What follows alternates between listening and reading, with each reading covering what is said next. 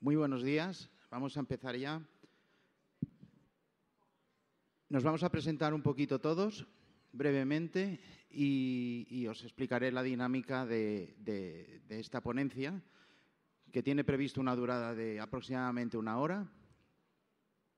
Y después vamos a tener participación todos, no os preocupéis, y, os explico. Yo me presento, yo me llamo Ferran, vengo de DINCAT, Plena Inclusión Cataluña, soy el vicepresidente de DINCAT y formo parte de la Junta Directiva de Plena Inclusión. Yo también, yo soy papá de dos niños eh, de 25 años con discapacidad intelectual. No os puedo decir el diagnóstico porque todavía no me lo han dicho, o sea que de momento ahí estamos. Y, y el objetivo final que siempre he querido para mis hijos es que sean y son felices. ¿no? Entonces, a partir de aquí, eh, os podéis imaginar pues, el, trabajo, el trabajo que lleva esto. A mi derecha tengo a Miquel Álvarez y Miriam Ruiz.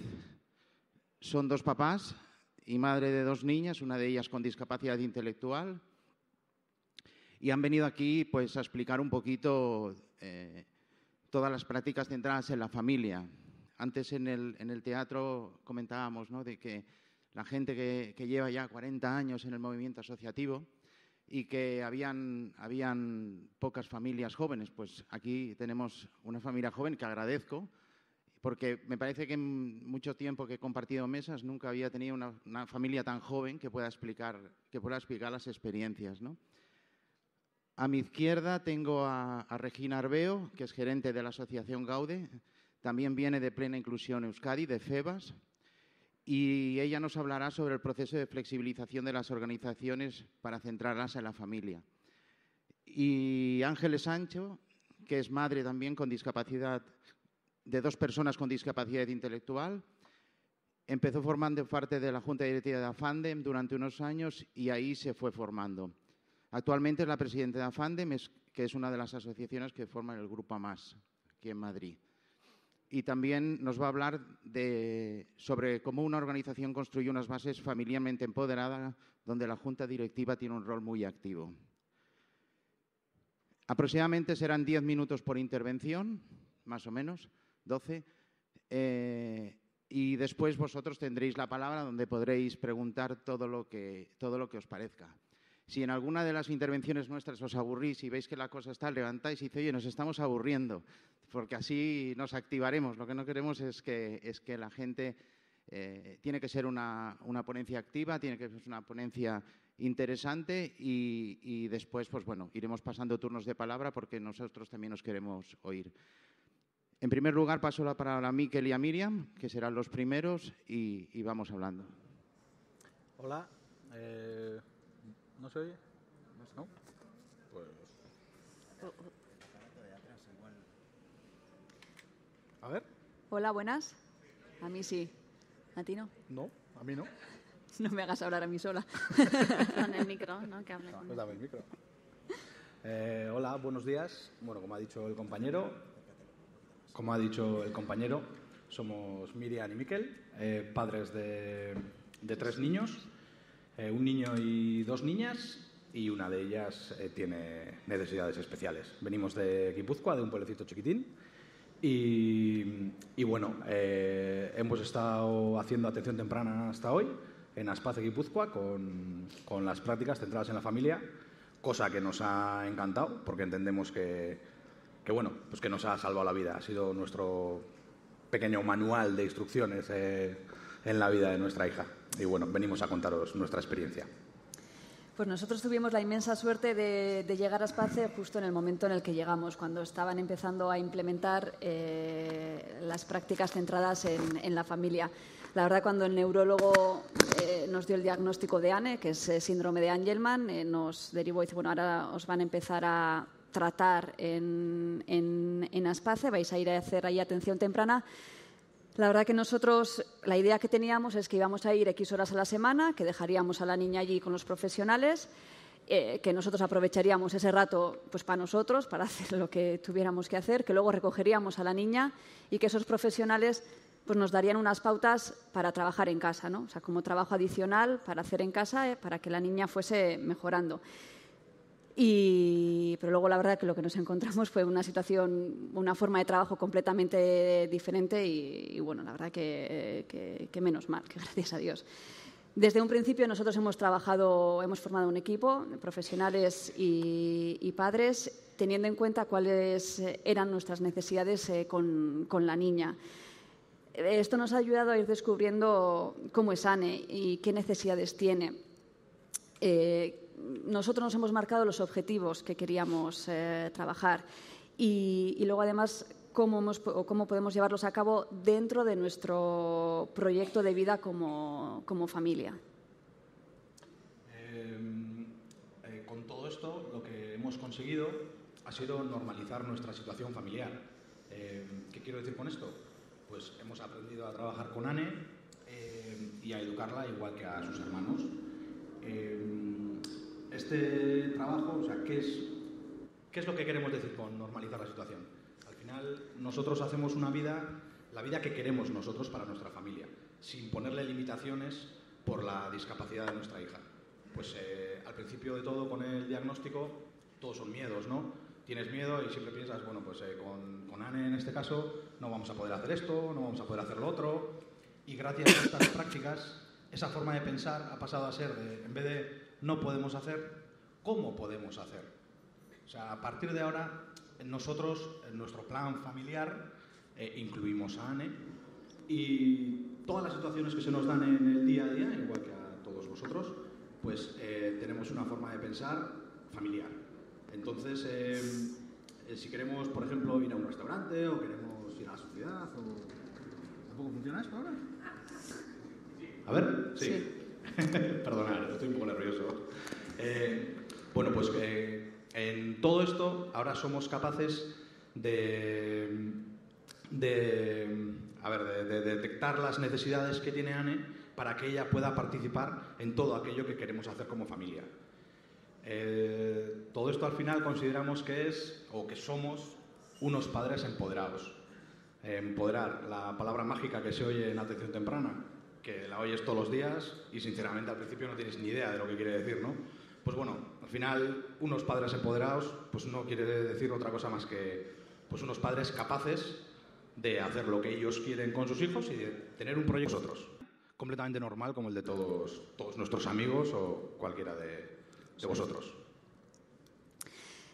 Una de, mm, una de las cosas que nos ha aportado, yo creo que muy importante, es que hemos conseguido que, que Anne no sea el centro de la familia, sino que sea uno más, uno más de, los cinco. Y, también tenemos que decir que el único beneficiado de, de esta forma de trabajar, de, de, este modelo, de estas prácticas centradas en la familia, no es el niño, la niña o la persona con discapacidad. Eh, a nosotros nos ha venido tan bien como a ella o incluso, o incluso mejor. Eh, tienes al final una persona de referencia en, la asociación o en, una atención temprana que te ayuda, que te hace pensar mm, todas las pequeñas eh, problemas que nos encontrábamos. Eh, poco a poco los hemos ido solucionando gracias a su apoyo, pero siempre formando un equipo y, eso es un apoyo emocional enorme. Bueno, y para terminar todo esto, ¿Por qué queremos nosotros unas prácticas centradas en la familia a lo largo de la vida de nuestra hija, que va a cumplir seis años y como todos sabréis, se acaba ya la atención temprana? Pues básicamente porque el entorno familiar es el único entorno que está a lo largo de toda la vida de, los niños y que no cambia. Los profesionales pues van y vienen, pero nosotros estamos siempre ahí. Entonces somos pues sin duda los que más sabemos y los que más conocemos a nuestros hijos. Entonces creemos que es importantísimo y que es básico pues el feedback entre profesionales y, familias porque se enriquecen ambas partes. Nosotros nos enriquecemos de todo lo que sabe un profesional, pero los profesionales también se enriquecen de, nuestros conocimientos y de nuestra comprensión con nuestra hija. ¿no? Eh, aparte de todo esto, también hay que decir que, que, se nos tenga en cuenta y que, se nos, que seamos parte del grupo de trabajo y, se cuente con nosotros, con nuestras prioridades familiares a la hora de marcar objetivos para tratar con nuestra hija, eh, eso genera un bienestar familiar y un clima eh, positivo que, que, repercute directamente eh, sobre nuestro hijo con discapacidad y sus hermanos. Si unos padres sanos y me refiero a Emocionalmente. Si estamos todos bien y felices y, y activos y con ganas, pues eso eh, se ve afectado, o sea, se ve, repercute positivamente sobre los niños, sin lugar a dudas. Entonces, por esto eh, queremos que ahora, cuando se acabe la atención temprana para nuestra hija, nuestra asociación en concreto, Espacio Guipúzcoa, pero bueno, creemos que todas las asociaciones deberían de cambiar de forma de trabajar y empezar a utilizar las prácticas centradas en la familia a lo largo de la vida de los niños. Y también nos gustaría decir que eh, no entendemos, bueno, en atención temprana siempre hemos escuchado que las prácticas centradas en familia son la forma con la que mejor aprenden los niños y que eso está demostrado científicamente. Entonces, si está demostrado científicamente que un niño, eh, como mejor aprende, es con unas prácticas centradas en la familia, en un entorno natural, ¿por qué con un niño de 8 años, de 10, de 12 o de 25 No va a funcionar. no? Pues por todo esto creemos que, que hay que cambiar las cosas. Muchas gracias.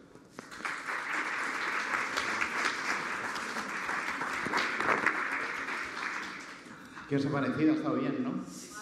¿Es que sí? Gente joven, un curro interesante, están sanos, como dicen. Esperemos que... Es un buen ejemplo. Entonces, eh, entiendo que vuestra entidad eh, ha colaborado para, para poderos empoderar, para guiaros, Sí. porque entiendo que, que es la manera de hacerlo, ¿no? Entonces, ahora, eh, como ya han hecho los deberes, vamos a ver ahora de qué manera la organ- una organización construye esa base familiarmente empoderada. Porque, porque de, algún, de alguna raíz siempre sale, sale todo esto, ¿no? Entonces, ahora paso la palabra a, a Ángeles, que nos explicará un poquito todo esto, y, y vamos a seguir con el, con el mismo hilo, pero ya desde el punto de vista asociativo. Hola, buenos días. Eh, soy María Ángeles. ¿Cómo se oye? No se oye. Pues déjame. ¿No se oye? Ahora ya sé. Ah, vale. Bueno, soy María Ángeles, como bien me han presentado. Soy madre de dos personas con discapacidad y a la vez también soy hermana de persona con discapacidad, con lo cual eh, llevo viviendo con la discapacidad pues toda la vida. Eh, yo formo parte de, de la Junta Directiva de Grupo AMAS y os voy a explicar un poco cómo está compuesto así Grupo AMAS y cómo trabajamos desde las juntas directivas.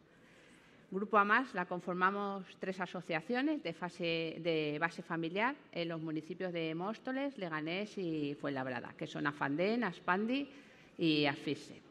Y con dos fundaciones que son AMAS Social y AMAS Empleo. Eh, parte de estos familiares eh, forman parte de las tres juntas directivas junto con el patronato, que son el órgano dirigente de la organización. Nos reunimos más o menos una vez al mes eh, o, mes y medio y bueno para tratar temas relevantes de la entidad y, proponer decisiones al, patronato. Es decir, que nos reunimos las tres asociaciones juntas. Y bueno, para poder tener una visión real de, lo que es importante la entidad, eh, los miembros de las juntas directivas, bien los que podemos, ya se saben los horarios, la flexibilidad y tal, eh, participamos en diferentes espacios de la organización.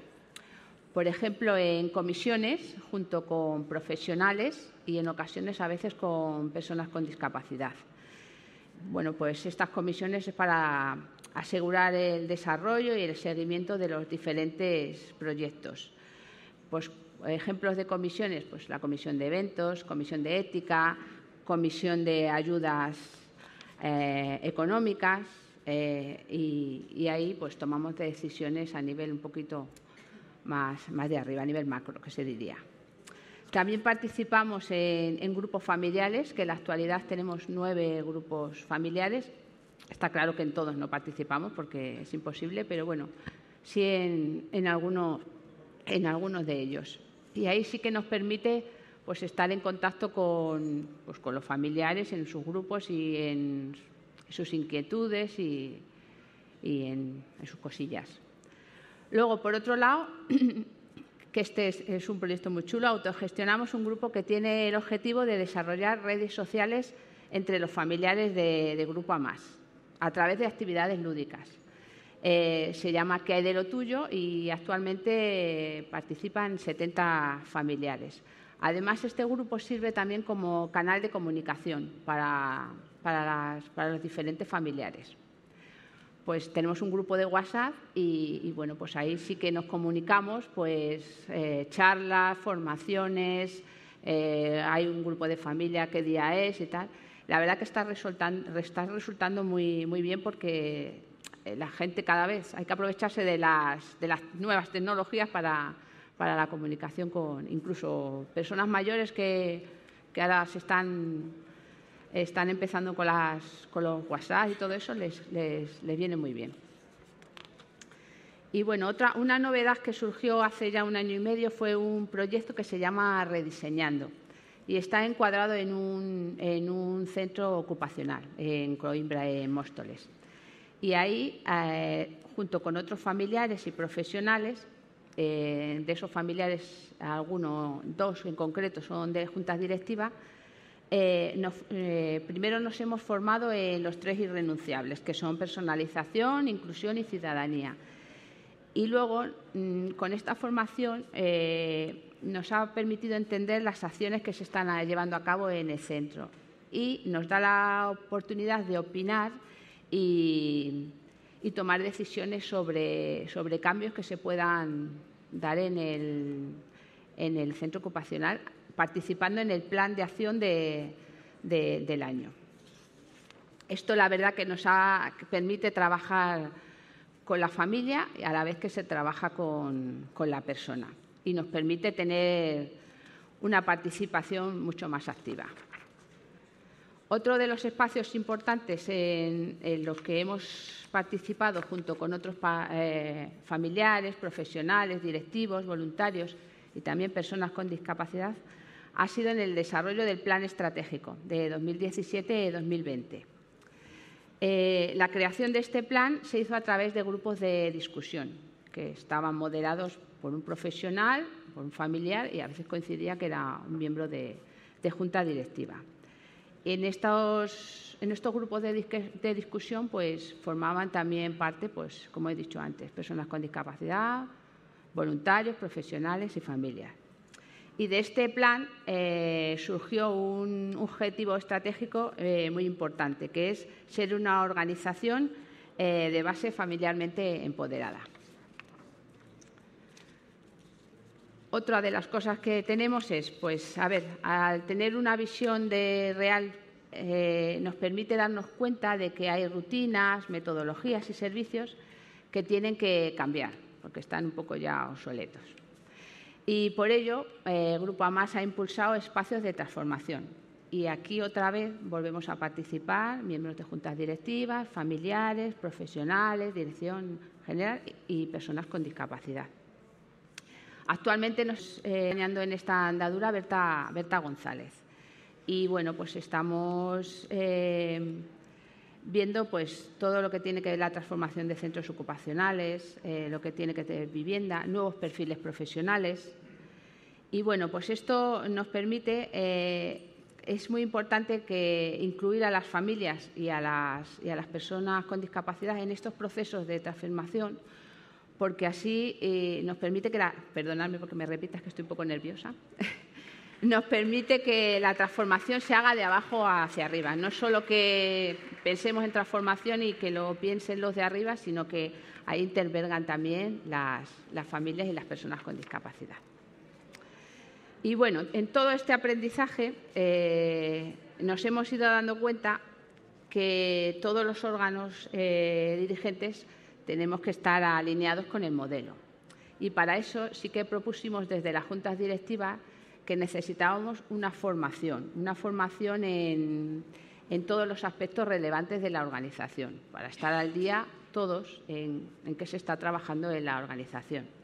Pero no solo, no solo pensamos en las juntas directivas actuales, sino que pensamos en la cantera de familiares que en un futuro eh, podrán formar parte de, esas juntas directivas. Porque si no, si no están formados, cuando entras en una junta directiva estás como, parece que una vez al mes vas a la reunión y participas y tal. Sin embargo, si ya estas personas ya están formadas, pues ya, ya saben a lo que van y en lo que se cuece en la, en la organización. La verdad que es una formación que va a ser durante un año y hemos empezado el, el, día, el día 8 con ella. Y además lo que también pretendemos que, que estos familiares no solo en un futuro formen parte de juntas directivas, sino que también eh, mm, se animen a participar en consejos de centro y en diferentes comisiones, en diferentes o grupos familiares, pero que se animen por lo menos a participar en la organización. Bueno, este movimiento todo es, es lento, pero bueno, sí que han ido suponiendo mejoras.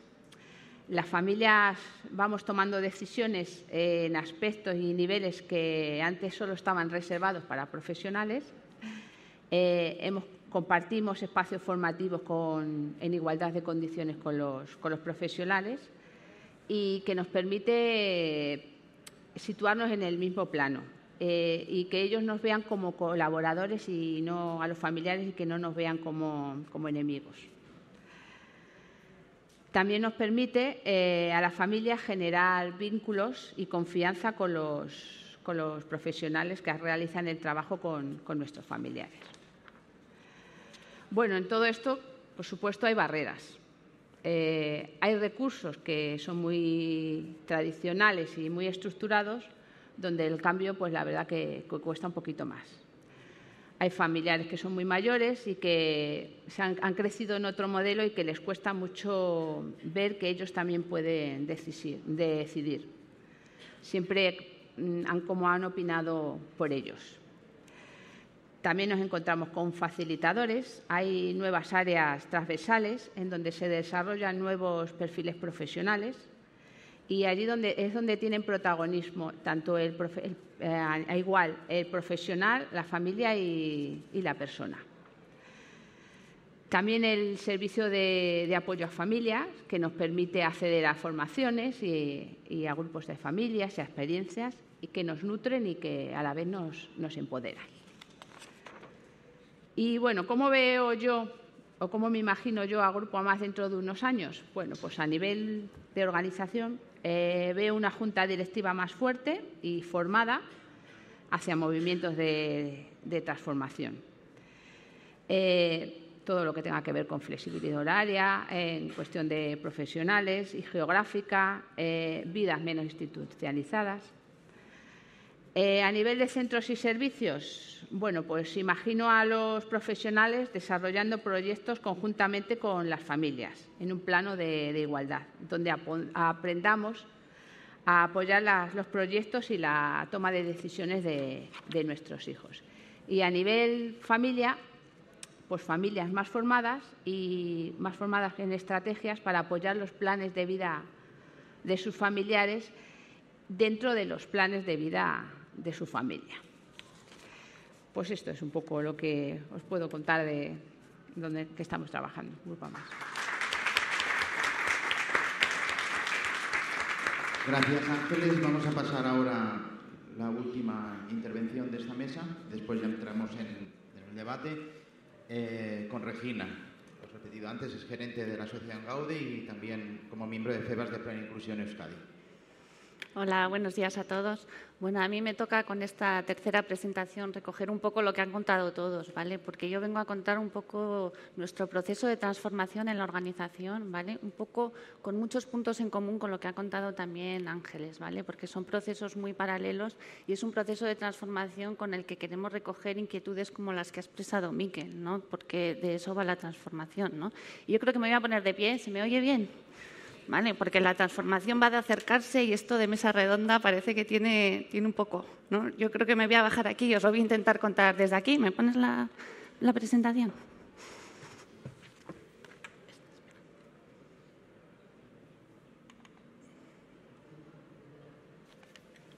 ¿Se veía? No.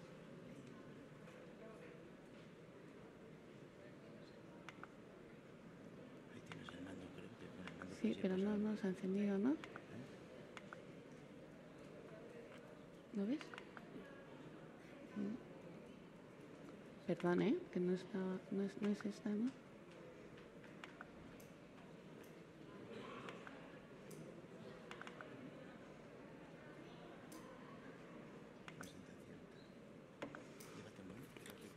Mm, sí.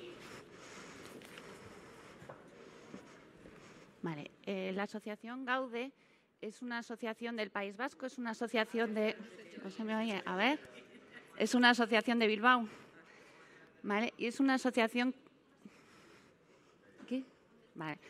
Es una asociación que la denominación de Gaude es muy reciente, ¿vale? porque nos llamamos Gaude solo desde hace un año, pero realmente la asociación tiene una larga trayectoria. ¿vale? Es una asociación de familias que se fundó en 1981, ¿vale? con lo cual llevamos ya 37 años eh, como asociación de familias.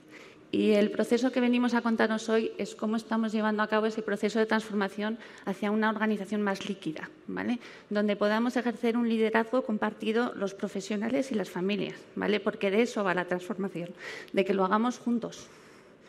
¿vale? ¿Y por qué? Lo que voy a intentar contaros a lo largo de la presentación, y voy a intentar ser breve y no pasarme mucho del tiempo, es por qué hemos iniciado este proceso de transformación, dónde estábamos, dónde estamos y cuáles son los retos que nos quedan para seguir avanzando. Esto no se me oye muy bien, ¿no? ¿Sí? ¿Se oye? Bueno, ¿por qué esta transformación? ¿Por qué es necesaria una transformación? Como sabéis, en el movimiento asociativo de plena inclusión hubo un cambio en la misión.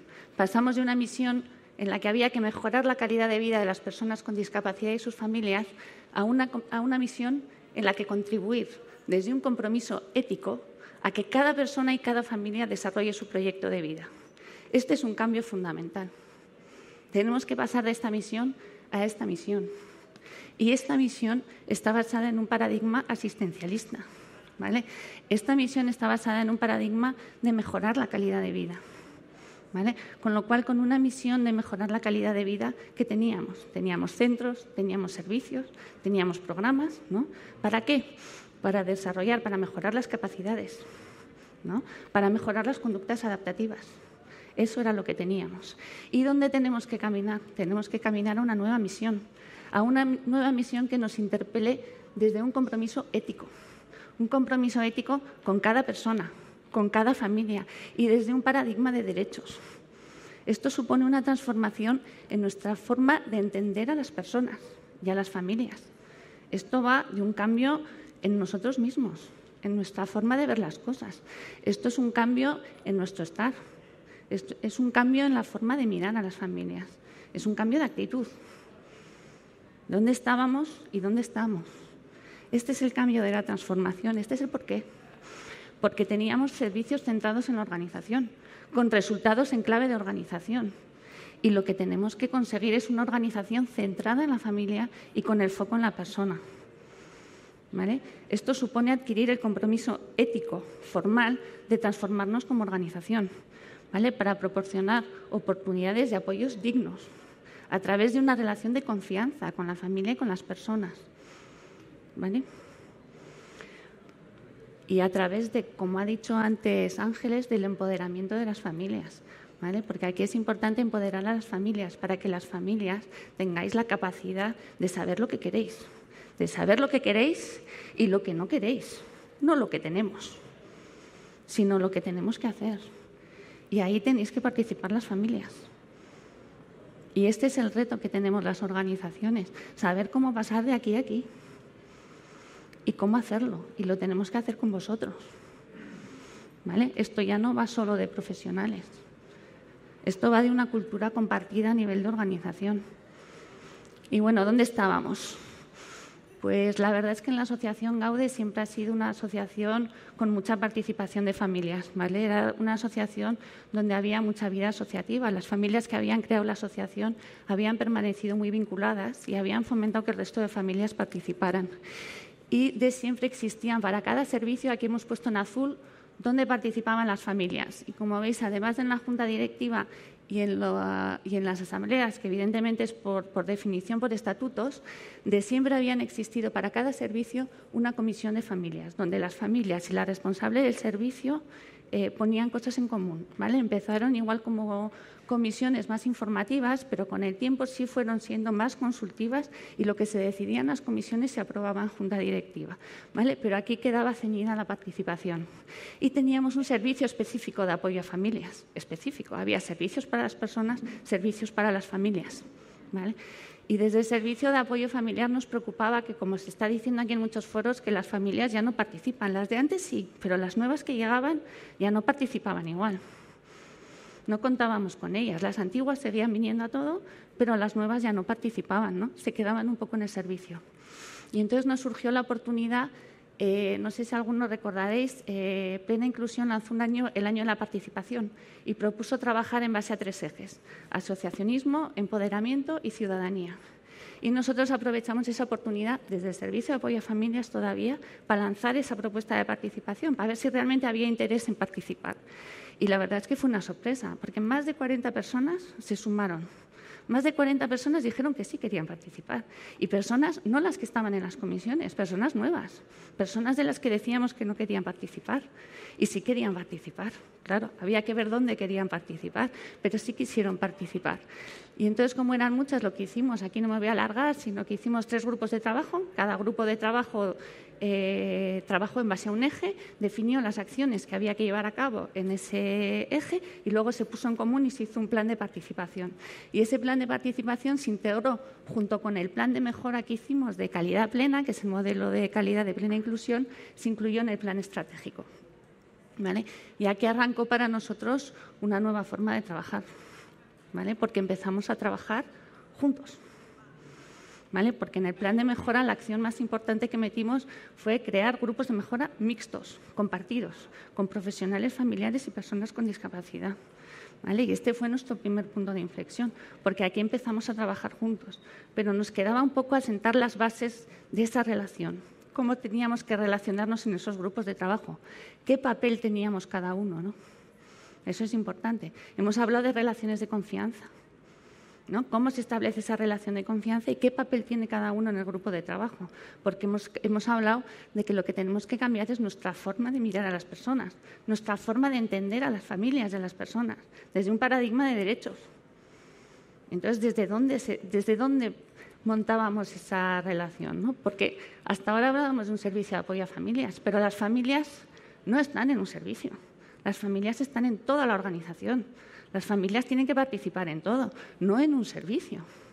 Igual esto no me interesa, pero en cosas mucho más transversales, de diseño de apoyos, igual sí me interesa participar. En, acciones que estén directamente vinculadas con mis prioridades. Y entonces, eh, como eso suponía un cambio de cultura organizativa que tenía que calar mucho en la organización, porque todos los profesionales podemos estar en grupos de trabajo, no solo los del servicio de apoyo a familias. Entonces, lo que tenía que calar es una nueva cultura organizativa, una nueva forma de relacionarnos, en la que seamos capaces de colaborar, de compartir, de poner en común, de aunar esas visiones que tenemos, distintas a veces, pero complementarias, y que hay que escuchar todas porque la forma sistemática de crear una asociación o vínculo con las familias es que se les trate con dignidad y respeto, que se respeten sus valores y que se proporcionen apoyos que fortalezcan y mejoren su funcionamiento como familia. Y si conseguimos esta forma sistemática de vínculo es cuando podremos hablar de una organización centrada en la familia y con el foco en la persona, pero generando este vínculo sistemático. Y para ello creamos lo que hemos llamado nosotros el proyecto ético, que veis arriba, que es la clave, que para nosotros ha sido la clave de la transformación. ¿vale? Porque este ha sido un proyecto que empezó con un grupo de trabajo, y ya son tres, perdón, me voy a agua.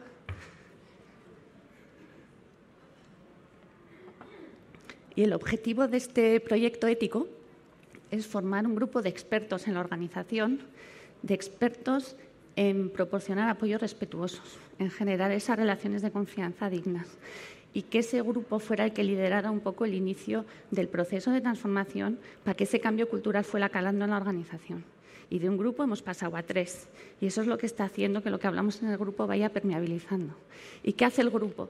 Es un grupo de reflexión, es un grupo de debate, es un grupo donde todo lo que decimos cuenta. Es un grupo que está formado por profesionales, familiares, personas con discapacidad y miembros de junta directiva.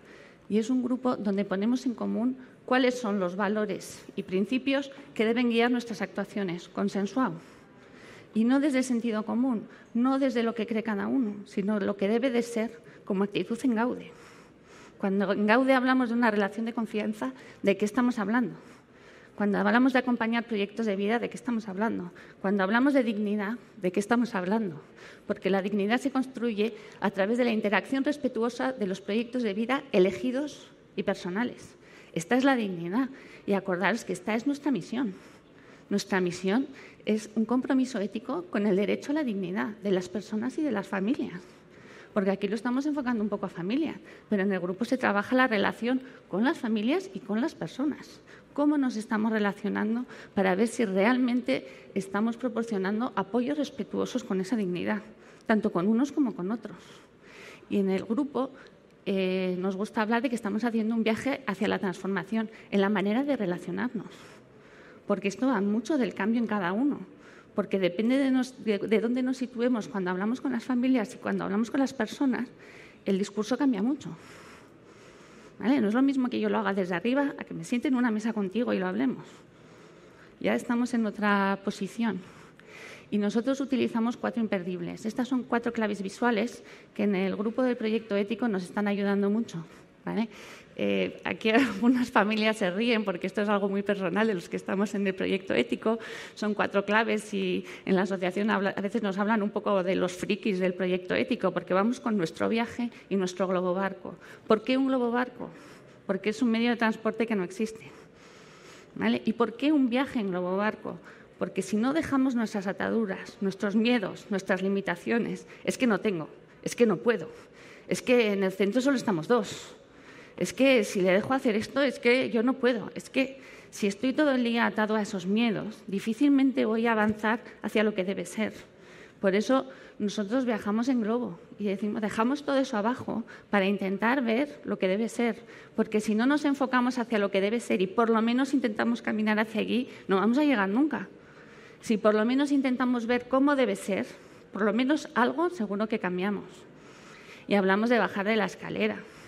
Yo no sé si os sentís representados, pero aquí está el profesional con el rol de experto que sabe, ¿no? El profesional es el que sabe, el profesional es el que mejora la calidad de vida. Y aquí, pues igual algunas familias también os veis representados en la relación con la persona, ¿no? Porque la familia también sabe muchas veces. Y sabe más, sabe más que nadie, ¿no? Aquí estamos muchas veces en nuestra relación, nos subidos aquí. Y desde aquí no podemos relacionarnos. Desde aquí no hay relaciones dignas, desde aquí no hay relaciones de confianza. Necesariamente tenemos que bajar. Ese papel y esa varita mágica tiene que cambiar, tenemos que bajar de ahí. No somos expertos, somos colaboradores y vamos a contribuir todos a generar esos apoyos, a construir esos apoyos flexibles que se adapten a los proyectos de vida de la familia y no al revés. Y vamos a ponernos las gafas de la igualdad, porque todos somos iguales. Aquí nadie sabe más que nadie. Unos sabrán de unas cosas y otros sabrán de otras el que mejor sabe de su vida es la persona. Luego estará la familia también con sus intuiciones y porque también le conoce muy bien. Y vamos a compartir, vamos a poner todo eso en común. Y vamos a tener como mirada el faro, el faro de la dignidad, de los proyectos de vida elegidos, porque hacia ahí es hacia donde tenemos que caminar. Y estas cuatro claves es verdad que ayudan. Cuando te tienes que replantear las situaciones, hay que ver si estamos siendo capaces de ir más allá, de ver lo que debe ser, no lo que tenemos no nuestros límites, no nuestras ataduras, dónde tenemos que ir. Bajar de la escalera, ponernos esas gafas y caminar hacia ese faro, que es nuestra misión y que es nuestro compromiso ético con ese derecho a la dignidad a través de relaciones de confianza. Y este es nuestro viaje. ¿ves? Yo sigo poniendo el, globo, porque esto es un viaje. Hemos empezado, el proyecto ético arrancó hace tres años, pero esto tiene mucho recorrido. Esto no ha hecho más que empezar. Esto ha ido ya calando, pero le queda recorrido, porque una cultura organizativa no se cambia de la noche a la mañana. Una cultura organizativa se cambia con el tiempo y desde el convencimiento. Hay que trabajarlo. Nunca va desde la imposición. Y bajo esta premisa estamos construyendo una, organización más líquida que permita construir resultados personales y familiares significativos. ¿Y por qué líquida? Porque el líquido, cuando servís agua en un vaso, el líquido toma la forma del vaso. Si servís el agua en otro envase, el líquido toma la forma del envase. Y así tenemos que ser las organizaciones, flexibles, adaptables. Tenemos que hacer que las familias permeabilicen en la organización y que la organización tome la forma que la familia quiera, no al revés. No al revés, no que tu proyecto de vida se amolde a lo que tenemos en la organización, sino que entre todos intentemos construir esos apoyos. ¿Y dónde estamos? Pues esta es nuestra foto ahora Y aquí veis es donde está la participación de las familias. La cosa ha cambiado. Como veis, ya siguen las comisiones, pero hay un montón de grupos transversales en los que participan familiares, profesionales y personas con discapacidad en todos los grupos. ¿vale? Pero esto por sí solo no nos equivoquemos. Aquí hablamos de participación y hay grupos de participación, para que, pero para que de verdad podamos hablar de una organización centrada en la familia, no basta solo con participar. Hace falta que tengamos las cuatro claves en cuenta. Hace falta que generemos esa relación de confianza y que tengamos todos claro de cuando hablamos de relación de confianza de qué hablamos y que lo hagamos desde una posición de igualdad. Y ahí estaremos consiguiendo una organización centrada en la familia y en la persona. Retos y dificultades, pues que os voy a contar. que las fotos y los dibujos son muy bonitos, pero que esto tampoco es muy fácil. Retos y dificultades muchas. La primera de todas, vencer las resistencias al cambio, los miedos, subirse a ese globo barco. Hay que tener valor de subirse al globo y de intentar ver lo que debe ser. Aunque luego no lo vaya a poder conseguir, si ya lo he intentado, seguro que ha avanzado un poquito más. Así que hay que intentarlo. Eh, tenemos que cambiar el rol del profesional, que también lo ha dicho Ángeles, porque el profesional ya no es un experto, el profesional es un colaborador y ese es su papel desde la igualdad. Y tenemos que arraigar una nueva cultura organizativa centrada en la familia, centrada en la familia desde el convencimiento, no porque lo decimos, no porque lo digo yo, ni porque lo dice la Junta Directiva, sino porque realmente lo que estamos aquí nos lo creemos. Nos creemos que la forma de mirar a la familia y a la persona es desde la igualdad y que solo así acompañaremos proyectos de vida dignos. Nos lo tenemos que creer. Y además de creérnoslo, tenemos que saber hacerlo. Hay que desarrollar competencias profesionales. Eso, no, eso van a hacer de la intuición. Tenemos que saber relacionarnos, tenemos que aprender todos. Y tenemos que ser flexibles, que salí ayer en uno de los cornes. Tenemos que ser flexibles todos, las familias, los profesionales y las personas con discapacidad, porque esto es un caos. Las cosas como son. Son un montón de grupos, un montón de personas participando todo personas, personas con personas. Esto es un lío. Tatiana me mira y se ríe, pero es verdad que es un caos. Claro, teníamos la casa mucho más ordenadita antes de empezar con esto. Pero claro, ordenadita no quiere decir que lo estemos haciendo bien. ¿Vale? Ahora es un caos, pero yo creo que estamos mejor. Estamos moviendo, tenemos el suelo que nos tiembla todo, pero, pero estamos haciendo. Y yo creo que se trata de eso, de hacer. Y por lo menos de intentarlo. ¿Vale? Y yo quería terminar con la frase de una familia, una familia de las que decíamos que no participaban, una familia joven que no venía a la asociación, tenía presencia, utilizaba a su hija, participaba en algún servicio y empezó a participar en los grupos. Empezó en uno, participó en dos, ahora participa en tres. Y hace poco decía esta frase, es que no sé qué pasa de un tiempo a esta parte, pero es que hacéis distinto y los curiosos es que sois los mismos. Dice, no sé qué está pasando. Ella no sabía explicarlo, pero siendo los mismos hacéis distinto. Y esta es la clave de la transformación, que siendo los mismos hagamos distinto, porque nos estamos relacionando distinto. Y esta señora, que hace tres años tenía un sentido simplemente de presencia, ahora dice, en Gaude hacemos y en Gaude somos. Ha desarrollado un sentido de pertenencia, que es de lo que se trata. Y eso es lo que tenemos que conseguir con todas las demás familias. Y nada más. No te, no te muevas, Regina, porque vamos contigo ahora. ¿Eh? Vamos para allá. Porque es que hay gente que se pone en la última fila y se piensa que no le vamos a preguntar. Entonces, he visto por allá detrás. Bueno, ahora vamos, vamos a... Ahora es vuestra oportunidad de poder preguntar. Habéis visto un poco cómo ha ido esto. Se han dicho muchas cosas, retos, dificultades, miedos, eh, empoderamiento, en fin, es bastante importante. Yo voy a lanzar la primera, a ver qué os parece a vosotros, y a partir de aquí vosotros opináis, preguntáis, vamos a reflexionar, vamos a, como un espacio de reflexión básicamente. A mí me gustaría saber, o, qué, qué, pensáis vosotros si las entidades, vuestras entidades de varias comunidades, que supongo que aquí de Cataluña hay, porque las conozco, de Euskadi, pienso que si están aquí ellos habrá gente, no sé si, si venís de otras comunidades, si realmente eh, las entidades, vuestras entidades o entidades que conozcáis están centradas en la familia, realmente. O cómo, cómo, cómo veis vosotros vuestras organizaciones, si realmente tenéis esos apoyos, tenéis esas eh, facilidades, eh, la ayuda que Miquel decía en, empoderar a esa familia, que pienso que, de verdad, yo, yo llevo muchos años ya con esto y, cuando yo tenía la edad que tenías, perdón, que tenéis vosotros, me costaba muchísimo más. Lo habéis dicho con una fluidez increíble, no sé. Entonces, me gustaría que vosotros vierais o nos explicáis un poquito en vuestras experiencias con vuestras entidades y realmente si, si, si realmente las entidades están o no centradas. ¿Y qué es lo que implica que una organización esté centrada en la familia? Entonces, a partir de aquí yo me iré moviendo, si queréis, hay micros, ¿vale? Y, y allá veo la primera intervención.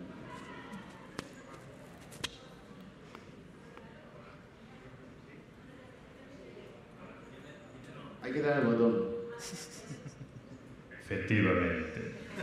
No, a mí también me ha pasado, ¿eh? Hola, buenos días. Daros la, la enhorabuena y, y, gracias por la exposición de, que habéis hecho todos. Eh, respondiendo a tu pregunta, bueno, soy Moisés, perdón, eh, vengo de, de, Galicia, de la Federación, y tengo aquí a mi vicepresidenta, y si me equivoco, pues que me corrija. en nuestro caso, creemos que ninguna entidad hoy por hoy mmm, trabaja desde este foco, desde este enfoque centrado en la familia. Pero por razones muy evidentes. Creo que esto es un cambio, implica un cambio de creencias, de formas de hacer, que primero tienes que creértelo. Y para creértelo primero es necesario formarse. Entonces, pero formarse no solo los profesionales, sino también las familias. Creo que las familias se han acostumbrado a, a ver un profesional experto, el de la varita mágica que comentaba Regina, ¿no? Eh, quieren respuestas inmediatas y a veces pues esas respuestas inmediatas no son posibles o, o, o son irreales.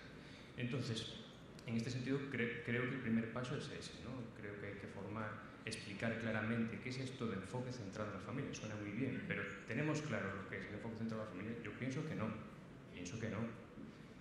Y, y, desde Plena Inclusión sí que se está haciendo un esfuerzo en esa línea, yo creo, está aquí Vega también, Beatriz Vega de la Confederación. Y por ejemplo este año pues, se ha puesto en marcha un, un programa de formación donde uno de los, de los cursos que se están ofreciendo a las entidades es precisamente el enfoque centrado en la familia. ¿Qué pasa? Es un curso online que me ha tocado dar y lo online es que es durísimo, es, es, como muy frío, ¿no? cuesta mucho trabajo, pero bueno, es un primer acercamiento. En nuestras entidades también se nos quejan, porque Galicia es bastante extensa, no es que sea Andalucía, pero eh, tenemos entidades como Asfabal, que está en el barco de Valdeorras, que está a dos horas y media de Santiago de Compostela, que es donde está la sede de la federación, y lógicamente los profesionales de, de entidades tan lejanas no vienen a, los cursos presenciales. Entonces, en esa línea, la fórmula online es necesaria. ¿eh? Y mi experiencia con este curso ha sido muy positiva, la gente sí que realmente lo necesita y salen muchas ideas y muy buenas. Eh, hay foros de debate donde se abordan un montón de cosas y creo que es un primer paso. Creo que el primer paso es ese, para ir asentando, cambiar creencias y empezar a trabajar en, en esa línea. Yo, por lo que me toca en la federación, llevo la, el área de familias, soy el responsable técnico, Carmel es la responsable política, y sí que creo que poquito a poco vamos aterrizando esa visión, esa forma, esa mirada que comentaba Regina de cómo hay que ver a las familias. ¿no? Y Carmelo lo tiene clarísimo. Las familias lo primero. Entonces, creo que en esa línea sí que nosotros lo, lo vamos viendo claro ¿no? y, y, creo que lo, lo, tenemos asumido. Es un primer paso. ¿Algo que añadir? No, que ella habla mucho. Deja, deja, que ella habla mucho durante... No, a ver, eh, lo que has dicho tienes razón eh, y, quizá eh, ese empoderamiento, o como veis, vos, ampliamos más, yo voy ampliando más información, aquí había una palabra también, lo que le diríamos un liderazgo compartido. ¿no? O sea, estamos compartiendo técnicos, estamos compartiendo familias y, cómo lo veis eso también. O sea, donde decías es que esa formación de quién corre más, el técnico la familia, quién tiene más prisa por, por, llegar al, objetivo, ¿no? que al fin y al cabo es la persona con discapacidad. ¿no? Entonces, había otra palabra ahí al final también. Perdón. Perdona, perdona. Bueno, las prensa. Buenos, buenos días. Bueno, gracias por la exposición y por la fuerza que transmitís todas las tres propuestas.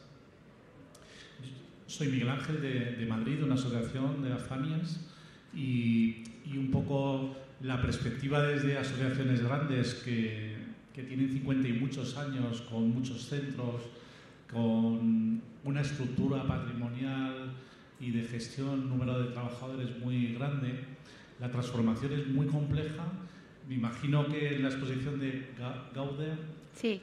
Eh, o sea, 20 trabajadores veían. No, no, 100, 120. No, es verdad que las cifras no he dado, no. Me da esperanza. No, no, no. En la asociación Gaude no apoyamos a 290 personas con discapacidad y sus ah. familias a través de 120 profesionales, 90 personas voluntarias, 540 socios y más de 100 colaboradores. No, somos. Yo estoy en una de 500, no, no, de 700 profesionales eh, y pero si, son, si ya una de 120 o de 200 arranca, Sí, eh, sí. Pero ¿sabes qué pasa? Es que lo que hay que soltar es el lastre, son los miedos. Hay que elevarse a ese deber ser y no a lo que me limita, a la estructura, a los que soy. Es que somos ahí, porque ahí es cuando nos anclamos.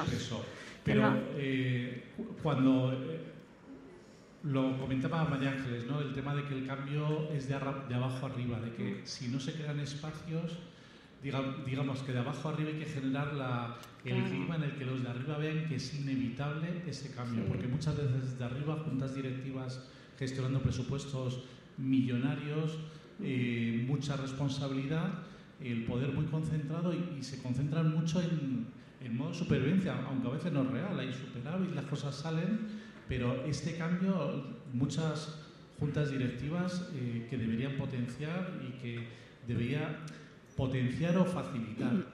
No digo que el cambio vaya a ser de, arriba abajo, yo no creo eso. Estoy seguro que será de abajo arriba, pero cuando a veces en procesos participativos generas dinámicas de, de intervención, pones, metes a las personas los dedos en la boca, salen ideas fantásticas que cuando los de arriba no esperan se frustran mucho y además lo que queda es que nada va a cambiar, van a seguir decidiendo cuatro y familias tan jóvenes como la de Miquel, que me ha encantado vuestra, vuestra exposición, vuestra experiencia vital, la verdad es que es impresionante, pero ostras, vuestro hijo va a crecer, vuestra hija, perdona, Anne, va a crecer y vuestra expectativa es ir encontrando ese cambio en cada etapa, eh, en cada fase, en cada, cada nueva etapa de su vida, ¿verdad?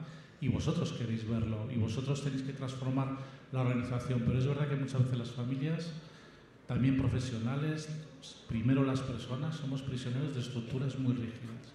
Estoy hablando demasiado. a plena inclusión, como está Bea y además una seductora nata, eh, hay que seducir a las juntas directivas, decirles que, en Toledo 10 habló de quien no esté en el, en el plan está fuera de, de, este está fuera de plena inclusión. Es decir, tendríamos que ver cómo hacer. Tú estás yo, yo la verdad es que te diría... Hay que seducir a las juntas directivas. Pero las juntas directivas son familias. Es que parece que hablamos de la junta directiva y la junta directiva, la junta directiva son familias.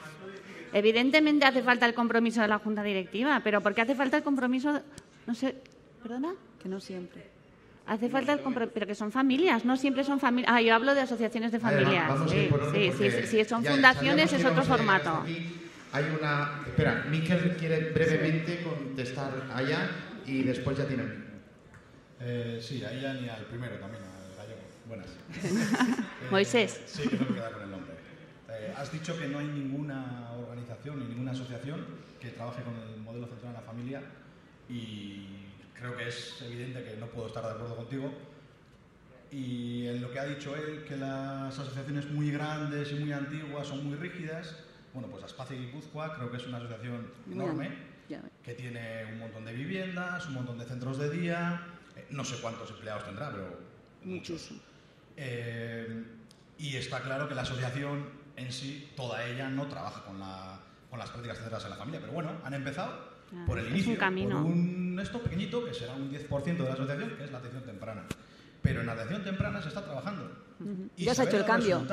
Ya se ha hecho el cambio eh, bueno, es que yo no quiero ni imaginarme cómo seríamos con la atención temprana anterior. Si Anne hubiera nacido un año antes, pues seguramente nuestra vida sería peor, que la que es. No tendríamos la calidad de vida que tenemos ahora, seguro. lo tenemos claro. De hecho, Anne va a cumplir seis años y este año hemos tenido otro bebé. O sea, fíjate si, si estamos contentos de, de, tener niños, ¿no? Y que ya no tenemos miedo.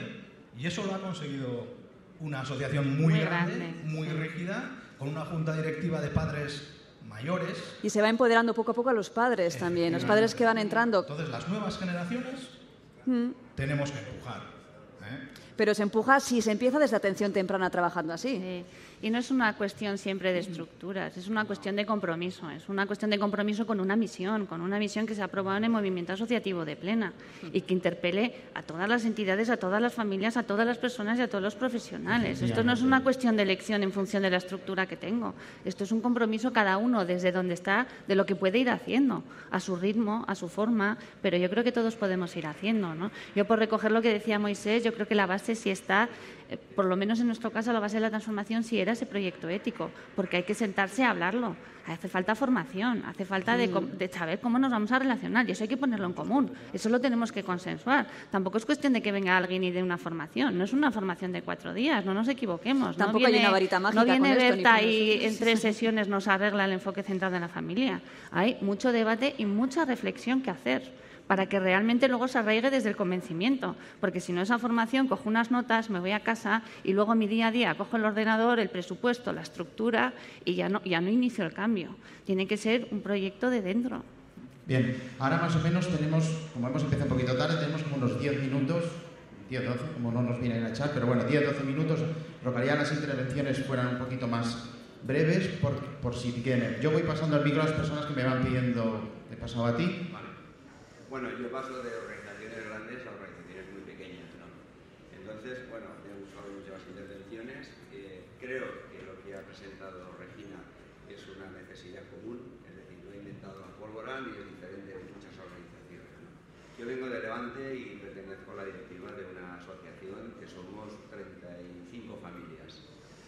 Entonces quería ir hacia Ángeles porque eh, he entendido que vosotros, la organización de AMAS, Ujú. estáis compuestas de pequeñas... Tres asociaciones. Tres. Ahí es donde yo quería llegar.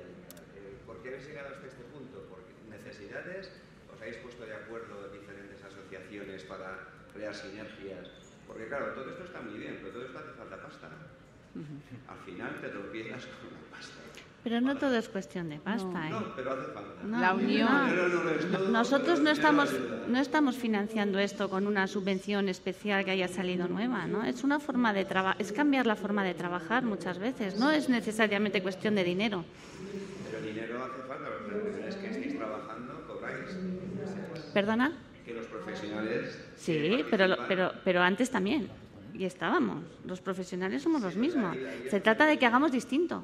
Yo lo que he entendido en la, en la- en parte que ha explicado Ángeles ha sido que eh, han creado sinergias en cuanto a profesionales, porque las necesidades de cada asociación, cada uno tiene su identificación.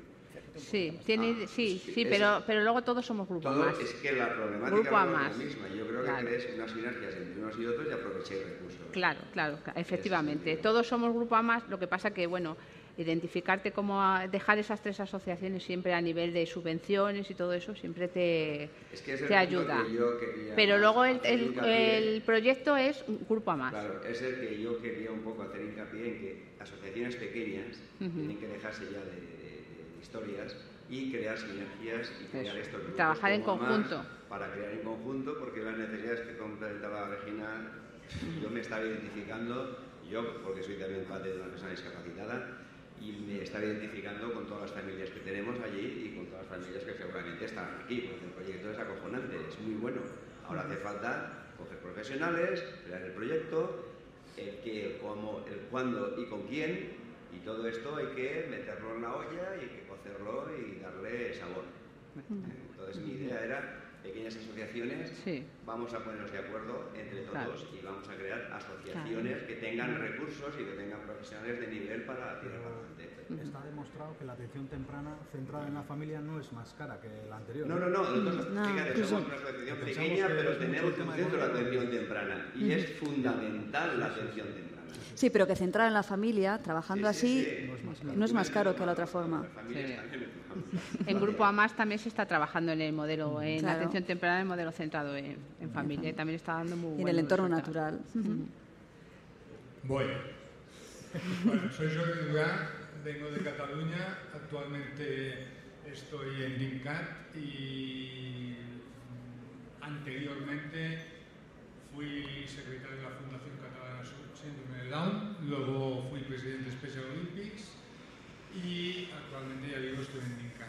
Y eso no lo digo para decir todos los títulos absurdos que tengo, ¿no?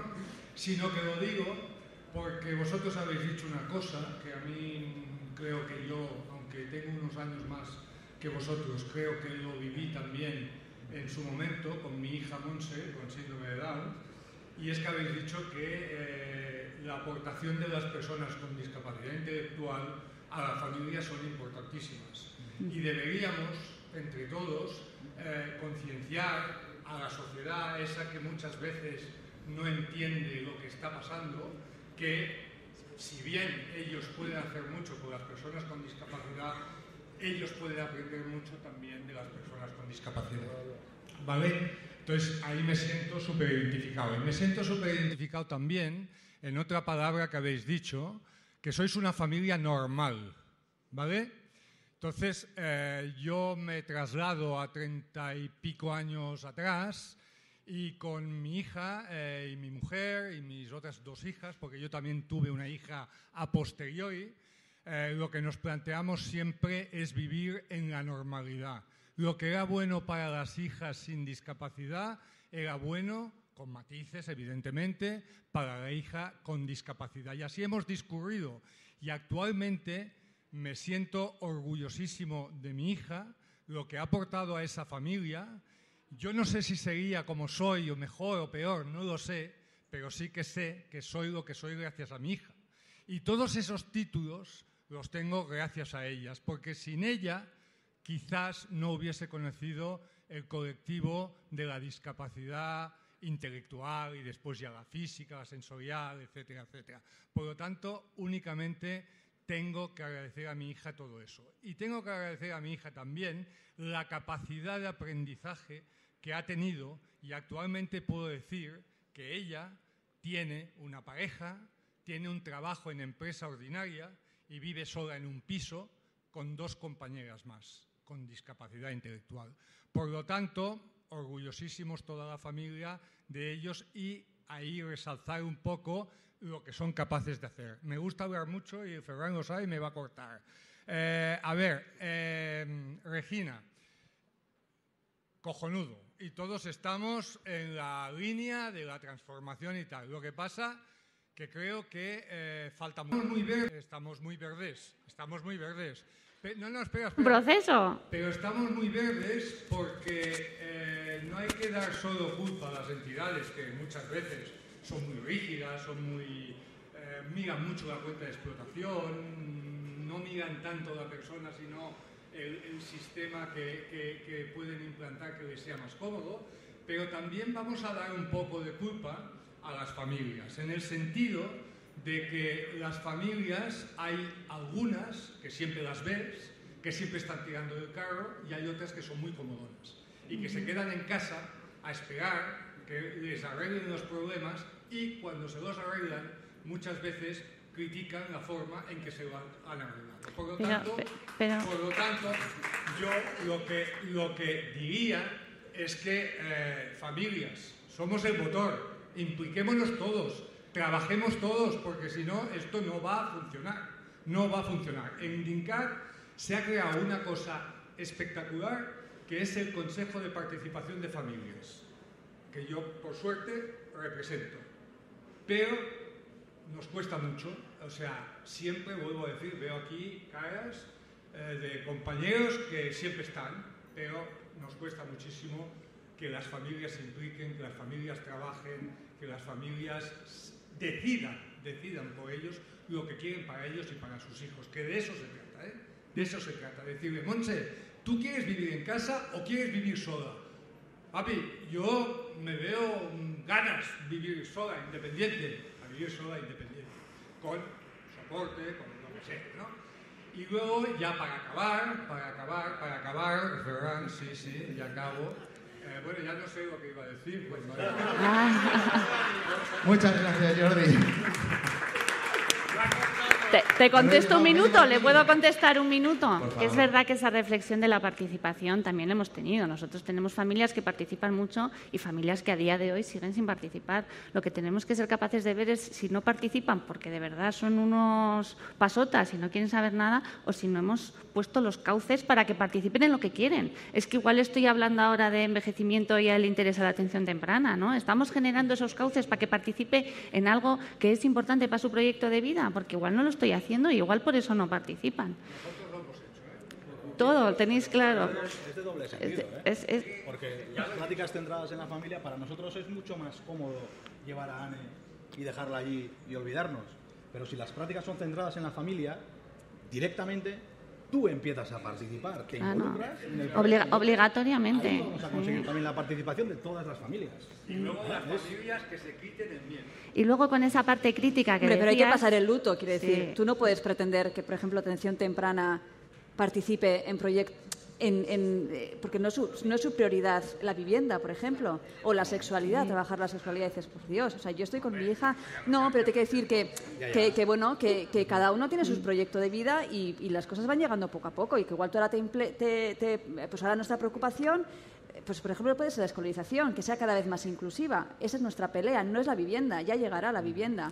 La- pero que elegimos tener ese nosotros, cauce, ese elegimos grupo. nosotros en qué nos queremos involucrar. Y no la cantidad, sino la calidad de esas Sí. familias Por también. eso, por eso hemos hecho grupos de habitacha, laboral, inclusión en las escuelas, todo eso.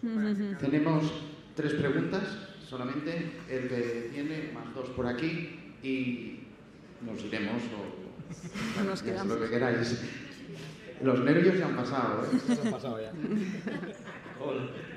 Es que ahora sí es una mesa redonda, ahora sí. ahora sí, ahora es más relajado. no, no, es lo que tiene que ser. Mi nombre es Antonio y vengo desde Canarias. Voy a ser muy breve, o sea, porque No. no, quiero reiterar, brevísimo. no quiero reiterar muchas cosas que se han dicho, pero digamos, eh, eh, esta, esta mesa me ha encantado. Eh, todos los ponentes, por supuesto, han llegado y sobre todo Miriam, porque estamos en ese, en ese momento, en este, en este momento estamos en un punto de, de inflexión, de cambio. Si hace cinco meses hubiéramos tenido este debate, pues hubiera dicho que mi asociación está, esta era una balsa de aceite y resulta que ahora es un caldero en ebullición. Horrible, ¿no? Estamos en, en un proceso de cambio total. Pero curiosamente lo, lo que más nos está costando es implicar a los profesionales dentro del mismo proceso. De este, este proceso están, digamos, enquistados en una posición, digamos, de, de, de- situación, de buena situación, y no quieren implicarse e incluso están eh, actuando a la contra, digamos. ¿no? Es una, una reflexión. ¿no? Muchas gracias. Sí, ahí solo podemos llegar desde el convencimiento, ¿no? Hay que convencerles de que realmente tiene que ser así, ¿no? Hay que bajarles de la escalera y de la varita, ¿no? Y intentar llevarles, pero desde el convencimiento, porque desde la imposición nunca les vamos a convencer. En el que lo tienes que hacer porque sí, porque lo digo yo, no va a llegar nunca. Por eso tiene que ser a partir del debate y de la reflexión y de poner en común cómo tienen que ser las cosas, para que de verdad cambiemos nuestra forma de entenderlo. Hola, eh, soy Javier Manuel de INCAR, Plena Inclusión Cataluña. Entonces, estoy de acuerdo con, con Jordi. La ventaja del paso del tiempo es que permite reflexionar y a veces la sopa de ajo en algunos aspectos está inventada. En estos momentos nadie duda de la inclusión escolar. Es un objetivo, cosa que hace unos años no existía. El tema es que hace años, muchos años, se inventó una ley que fue la LISMI. Todos la hemos abandonado. A partir de ahí empezaron a aparecer ramas, parches, etc.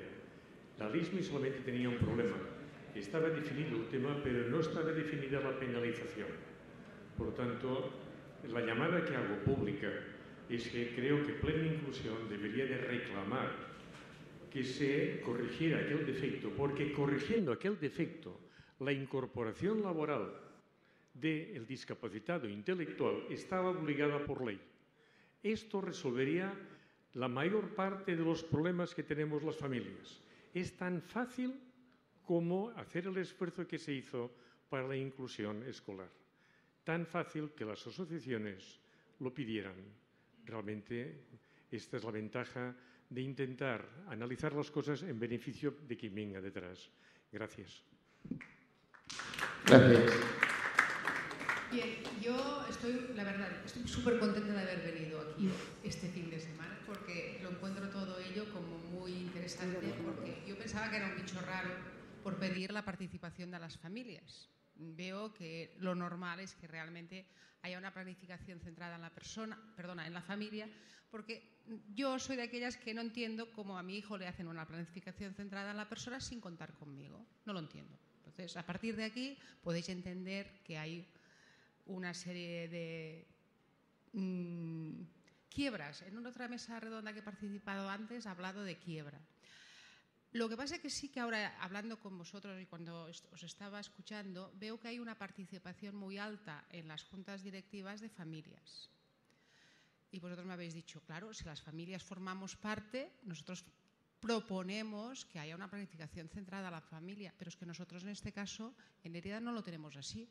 Es una asociación que las familias creo que son dos representantes que normalmente eligen la misma junta que está formada por los directivos, eh, profesionales, ¿me entendéis? Alguna empresa, entidades públicas, ayuntamiento, consejo comarcal, bueno, todas estas entidades que, que envuelven allí. Entonces, cuando como familia vas a reivindicar, estamos cerrados, o sea, no nos dejan. Es como un, sí, es una barrera.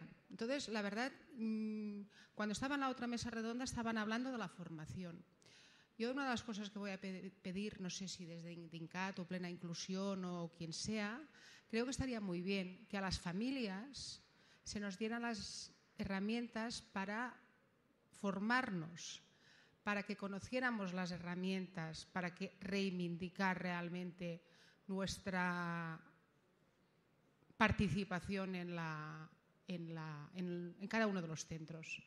Pienso desde DINCAT, no, perdona, desde Plena Inclusión ya nos ofrecieron una vez una formación online, pienso que estaba para el tema de gestión de conflictos, pero pienso que lo que podemos avanzar para que realmente haya una mayor participación y realmente reivindicar el papel de las familias es que a las familias mismos, mismas se nos empodere para que realmente podamos reivindicar, porque es que llegamos a un momento, yo lo he visto en personas, yo soy una persona bastante reivindicativa, pero es que hay familias que me dicen, es que mi hijo está muy bien aquí, yo no quiero que mi hijo tenga un problema porque yo reivindique.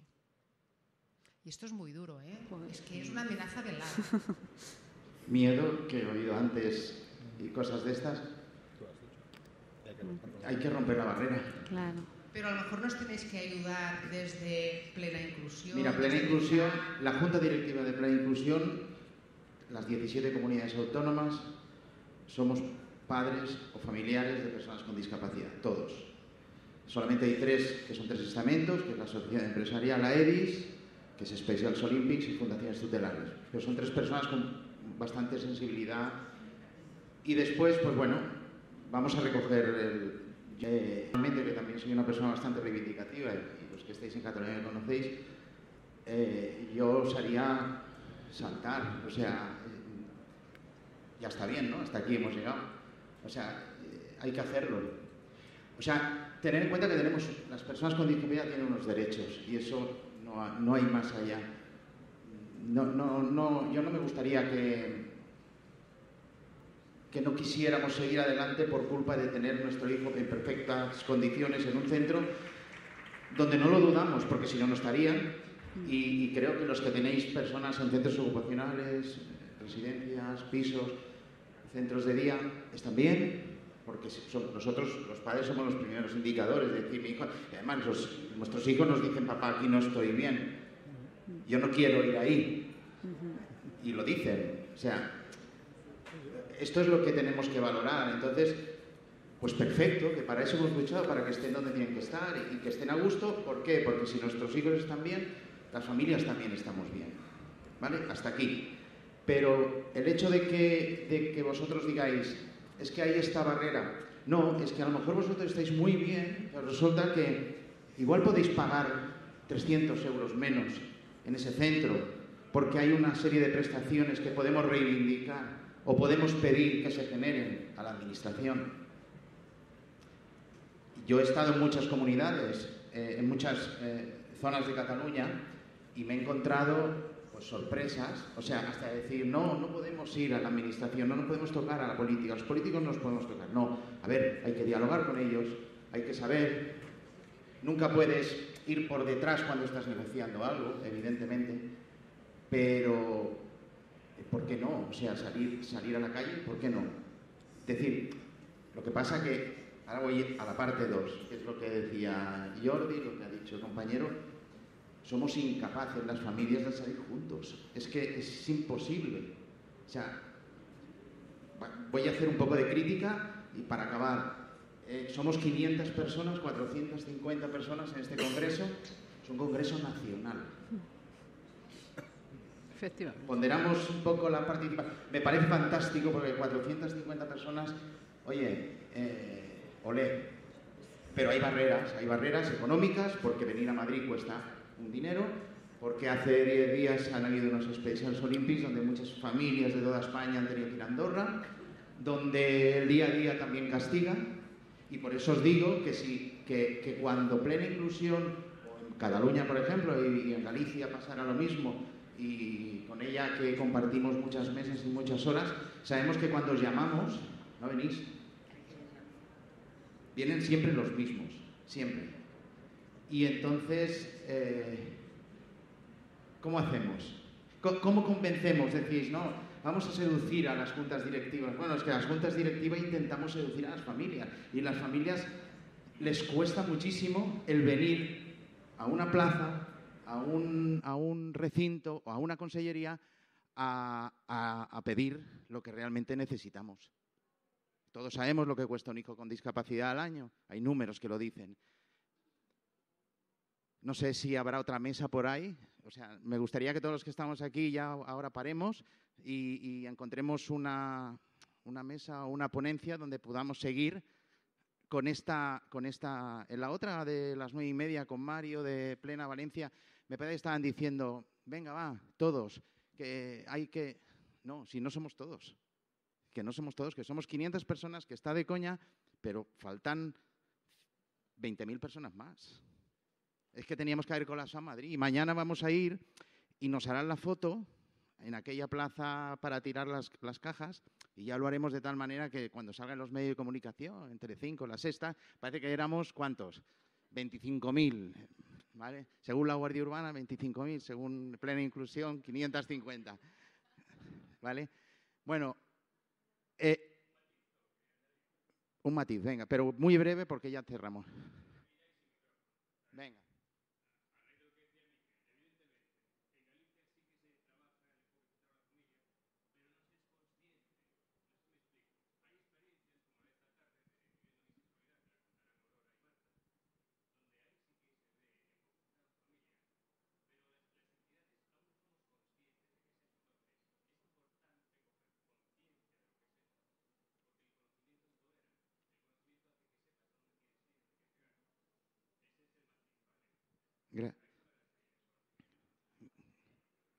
Gracias. Y ahora quisiera acabar al revés, siempre se acaban, ¿no? Los que estáis ahí, agradecéis, no, vamos a aplaudir porque ellos se lo han merecido.